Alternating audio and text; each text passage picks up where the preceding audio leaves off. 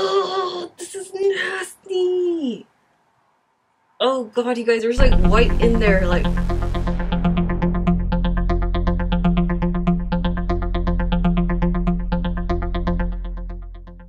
Hey guys, what is up and welcome back to my channel.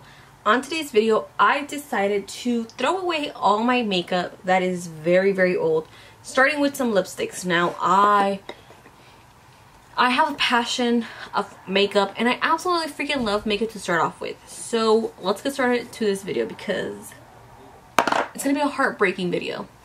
Gloss just brings like a different type of lip dimension to your lips and it's just like, I don't know. But I have a crap load of matte lipsticks that I bought and that I love and I don't want to throw them away.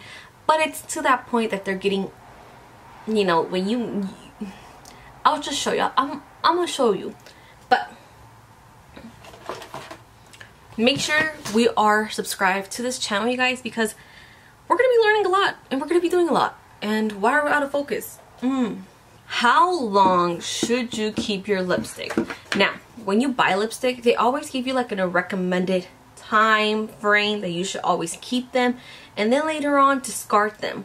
But should you actually discard them during that time or can you actually use them for longer? Now, I have a lot of lipsticks that are probably three to five to seven year old and yes, disgusting. I know. I know. I'm going to go ahead and start off with the few that I have that I absolutely love and that I don't want to get rid of but I know that I should because they have their years already. So this is my precious pile of lipsticks that I absolutely fell in love with. You guys, I have magnetic lashes on and they're not the freaking Glamnetics ones that are really expensive. I was gonna buy them because of Laura, Lauren, Lauren, the DIY queen, but when I saw the price, I was like, peace. But anyways, let's move on because we have a lot of lipsticks to go to. And then I have a lot of them that are still pretty freaking new. Ooh, what's going on on this one? This one's completely new as well. And this one is the 81. I didn't use it, this one, because, but it's having like a weird mark. Hmm. I haven't used this one either, but you see that there's like a weird coloring on it. I don't know if it's focusing. Next one that I love and I have here that I'm going to have to throw away because these are pretty freaking old are the Maybelline lipsticks. These are the sens Sensational, I think believe they're called. These are my holy grail. Like I love these. Um, but these are the matte ones. Oh my god, you can tell this one's so bad because look at all this. Do you guys see all that little white stuff? All that is like bacteria that's like it's indicating that the lipstick is bad bad. That is horrible. I'll be putting a zoom in on the other side. These are going to trash. Definitely. Definitely. Then moving on i have this one that's a nude one that again it has the same little beads on it. Look at that. Ew. These have Oh, they don't smell bad actually. But these literally are probably, again, the same time I bought the Kate ones. But the Kate ones look better than this one, which is just like, the formula, again, they're different on each one. Wet n Wild also has a duration of 24 months, which I have a few, which I actually love Wet n Wild lips, um, lipsticks. They are very affordable, but as well as very pigmented. But these are also all goners that you can straight up tell. They are like super.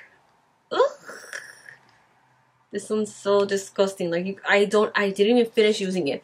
But look at this. Hopefully you guys are able to see that. That is like really disgusting. Like, the bubbles are everywhere. Like, that's just, these are really old. Like, I don't even know how old. I want to say like five, seven years. This one is definitely one of like the strongest ones. Look at this. Look at that. Look at that. And this one, again, it has a lot that I need to go through. Like, look at this. That is so freaking gross. Moving on to JCat. JCat was one of my favorite ones, especially when we're going through this trend of like wearing colorful lipsticks. I mean, you still wear colorful lipsticks, but back then it was like boom, boom, boom, color this, color this, white lips, red lips, like pink, blue, peach. Like it was just like a pop art. Oh, this is nasty. Oh god, you guys, there's like white in there. Like oh. last but not least, let's go ahead and check out this collection. Now these are from L'Oreal. This is actually my favorite collection. It is a private, is a collection Privée. And these are exclusive by JLo, by Zoe, and by Julianne. Now Julianne is actually one of my favorite ones because it's red.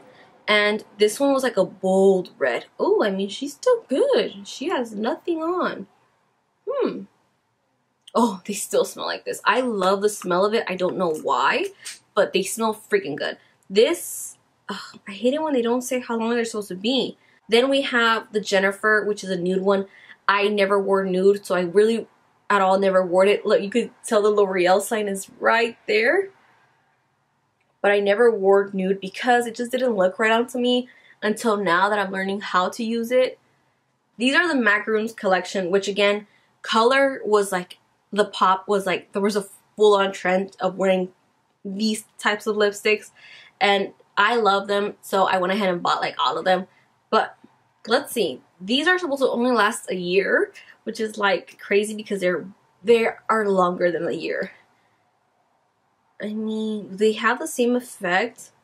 There's little, little dots on the tip. Ah, I touched my nose. Ew! I'm just kind of mind blown of what I've seen so far, you guys. But let me know in the comments down below. What is your oldest lipstick that you have? I'm just like, I hope you guys enjoyed this little montage of how disgusting the lipsticks are going to be because they have bacteria on it that's been growing for I don't even know how long. And we're going to give their last goodbyes.